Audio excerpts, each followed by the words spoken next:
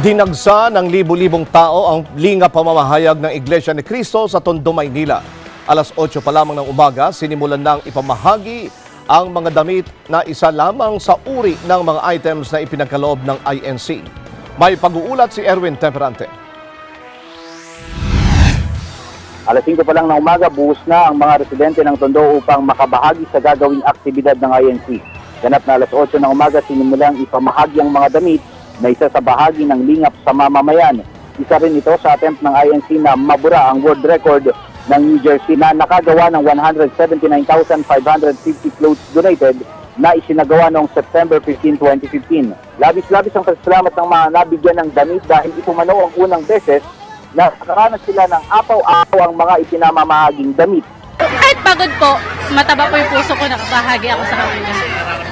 Masayang masaya po, nahingilabot po ako saya.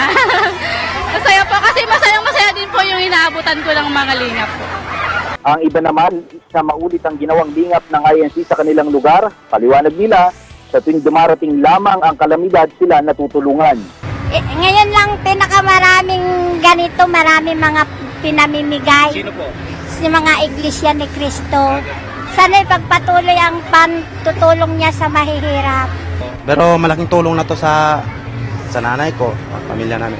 Target ng INC na makapagbigay ng higit dalawang daang libong damit sa mga kababayan nating nangangailangan at bahagi nito ang kayusan sa pamahagi na pinanggahan ng mga miyembro ng INC. Gusto, gusto po namin maulit-ulit para marami, marami pong mabigyan mga mahihirap po. Sa pagtatapos ng pamamahagi ng mga damit, hindi may kakaila ang kagalakan sa mga nabigyan ng linga na mapapakasangiti sa kanilang mga labi. Erwin Temperante, I'm one with 25.